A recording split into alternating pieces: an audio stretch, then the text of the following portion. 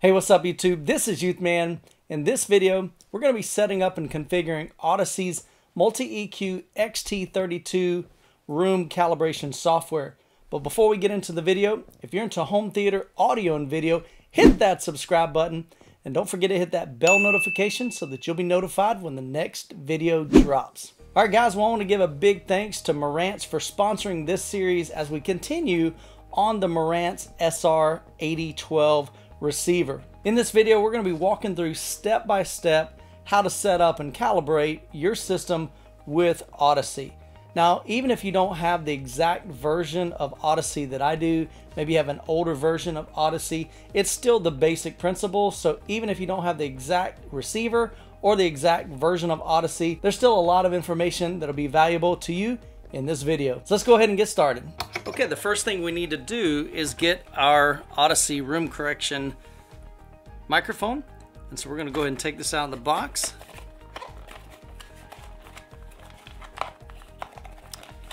And it comes with a really long cable so you can position it through various areas in your room.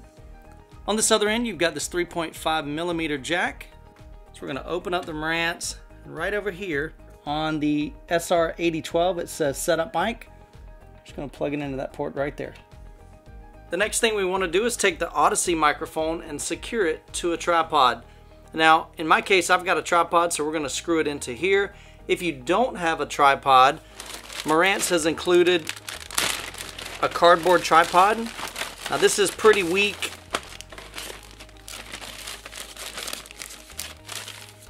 Now there's nothing fancy about this, it's just cardboard and really it's not that great, but it'll do in a pinch if you do not have a tripod. Basically each one of these are lettered. So you've got the A, so you'll match the A up with that, then the B on top of that, then the C on top of that. So once you get it all configured, there's these little tabs that allow you to slide this in here like this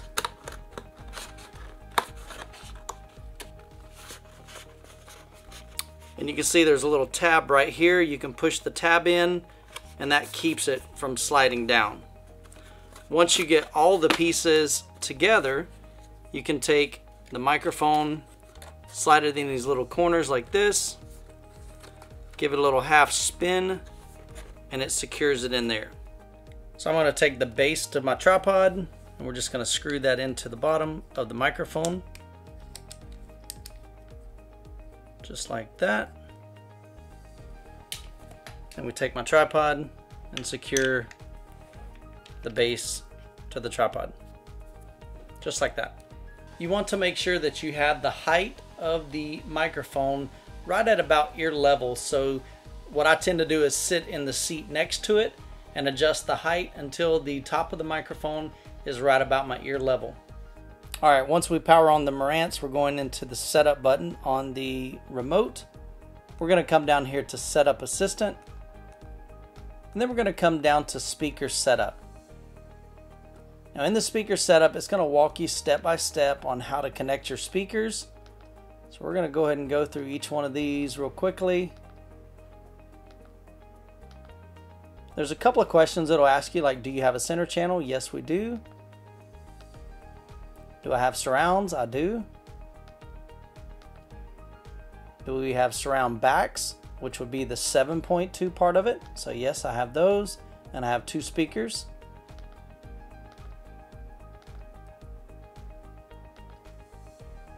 And on this screen, it allows you to select whether or not you have Dolby Atmos or Auro 3D or DTS:X setup. So in my case, I have four Dolby Atmos in-ceiling speakers so I'm going to come down to four speakers, two pairs. Click enter. And then it's going to ask you what setup do you have. In this situation, you have two front height and two top middle. You can have front height and top rear. There's front height and surround height, front height and rear height, top front and top rear, top front and rear height, or top middle and rear height. So in my setup, again, I have four in-ceiling speakers. And so I'm going to select top front and top rear and hit enter. It walks you through on how to connect those on the back of your receiver. Do I have a subwoofer? Yes, we do. And in this case, I'm just setting up one subwoofer, so I'm going to select one. It shows you on the back of the receiver where to connect that on the sub 1 output. And here's the summary. We've got front speakers, a center speaker, one subwoofer, surrounds, surround backs, and top front and top rear Dolby Atmos speakers. So we're going to click next. And now we're going to begin to play some test tones through the system and through your speakers and it's going to test that with the microphone. So we're going to click next. The subwoofer's turned on, so we're going to hit next. So we can hear the front, so I'm to hit yes. I hear the center. I hear the right. I hear the surround right, surround back.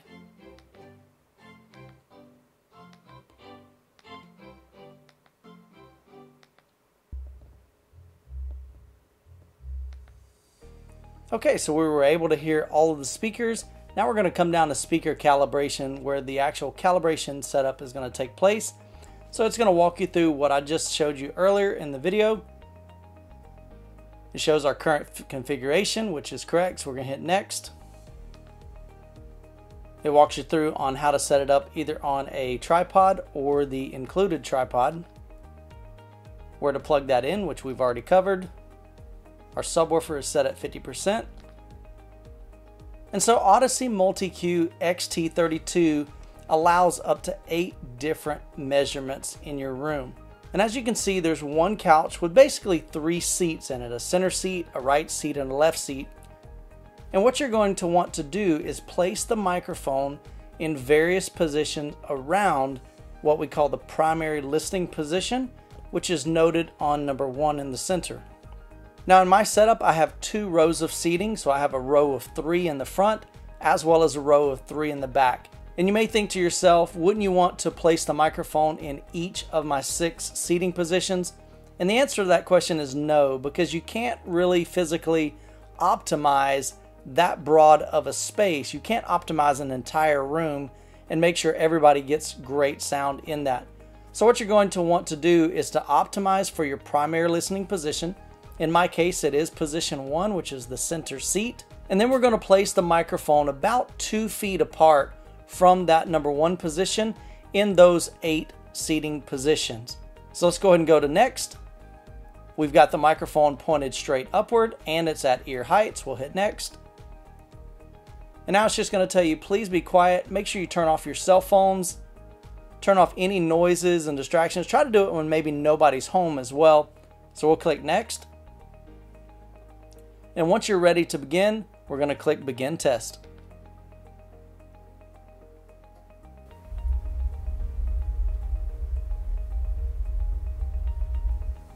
Okay, so in this case, it determined that the subwoofer level is actually too high. So what we're going to do is click on subwoofer level matching. And now we're going to go to the back of the subwoofer and reduce the gain until we get it down to something that Audyssey likes.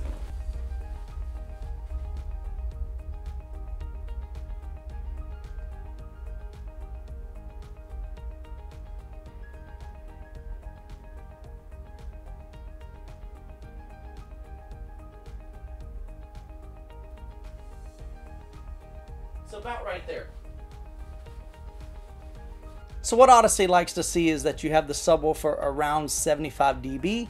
And as you can see here, it's bouncing between 74 and 75, so we're fine. So we're gonna click next, and we're gonna click continue.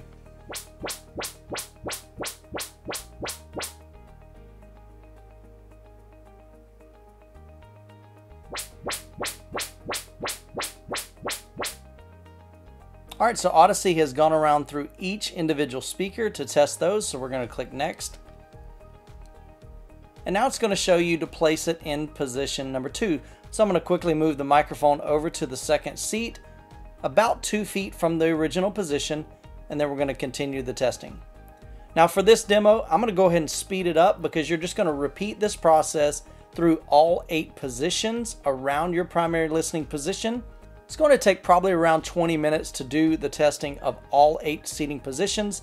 So I'm going to go ahead and pause the video here while I go through the remaining seven positions.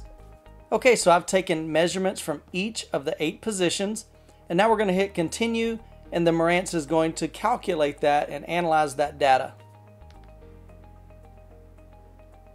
So my recommendation here is to turn dynamic EQ on.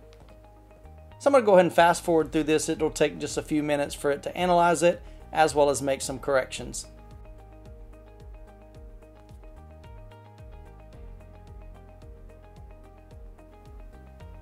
Once it's applied the room corrections, we'll click next. And we'll go ahead and disconnect the microphone. So Audyssey is finished calibrating, so we'll click next. And now what we want to do is return to the main menu by hitting return. So now what we want to do is go up to speakers and hit enter, come down to manual setup, and then let's come down to speaker configuration. Now what you'll see here is that the receiver has received the information from Audyssey and the Marantz has determined that it believes that the fronts need to be set to large.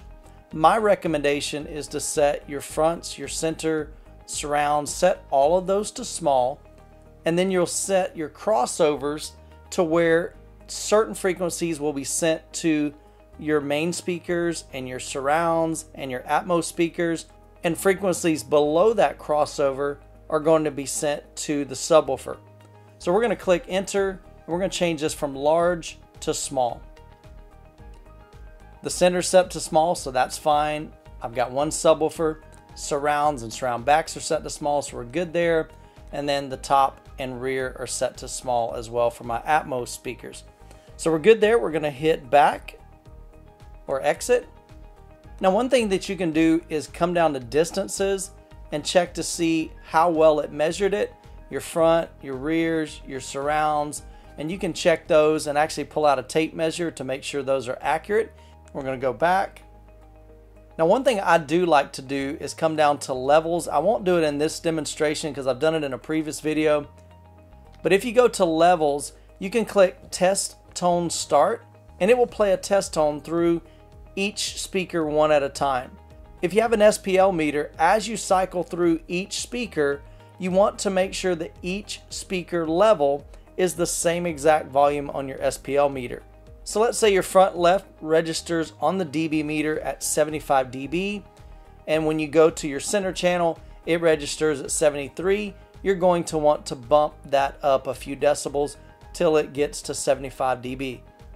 And the reason for this is you want all of your speakers to have the same exact volume so that they're what they call level matched. But for this demonstration, like I said, we won't do that. I'm going to go back. We're going to come down to crossovers now in the crossover selection, we have the option of setting a crossover frequency for each individual speaker. Now you can see here the Marantz received the information from Audyssey and it determined that the front speakers need to be set with a crossover of 40 Hertz. Now what that means is frequencies that are 40 Hertz and above will be sent to the front speakers while frequencies that are 40 Hertz and below will be sent to the subwoofer. Now, if you saw my video called Audyssey Got It Wrong, I'll link it in the card above as well as in the description below. I found out that setting your crossover at 40 Hertz really isn't the most ideal situation. And the main reason is I was listening to music during that video and I just was not getting the slam that I knew I should from the subwoofer. And the reason is is the frequencies during that song were probably in the 50 to 60 hertz range so all of those bass frequencies were being sent to my main speakers instead of the subwoofer. So what I like to do is set my front crossover to 80 Hertz. Typically you're going to want to set it anywhere between say 60 and 80. You can try each one and see what sounds best to your ears. There's really no right or wrong.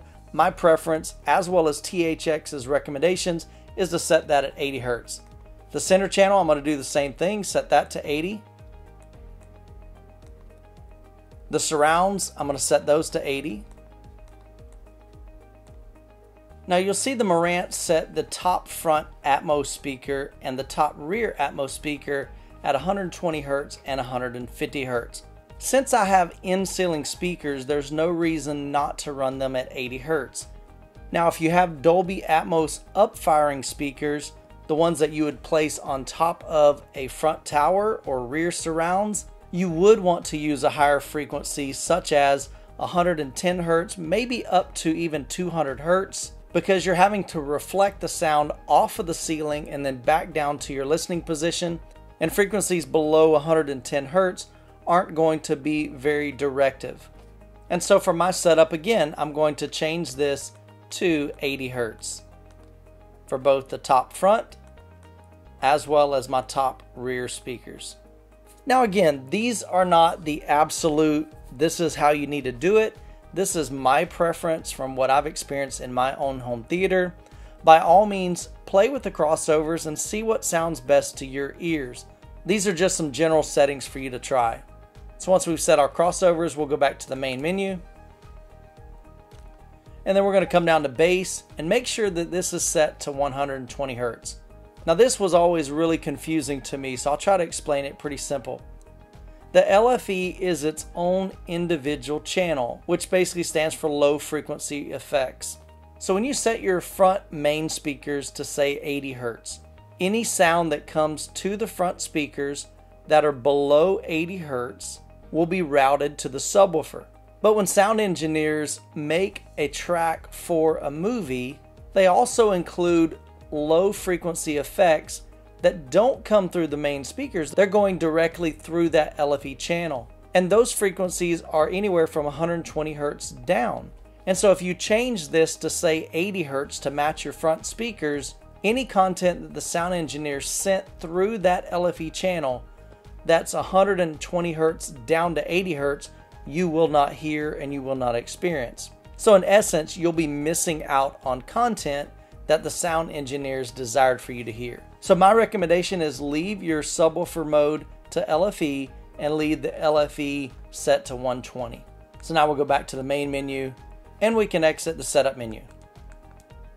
Okay, so there you have a comprehensive step-by-step -step walkthrough on how to calibrate your system using the Audyssey room calibration setup. Now, if you have any questions regarding Audyssey, Feel free to leave those down in the comments below, as well as any tips or tricks that you have that you want to share with others. Now, if you're interested in purchasing the SR8012, I'll leave a link to it down in the description. And if you're interested in other videos on the Marantz SR8012, you can check out this playlist right here. Well guys, I'm gonna wrap up the video here. Hope you enjoyed it. If you did, smash that like button.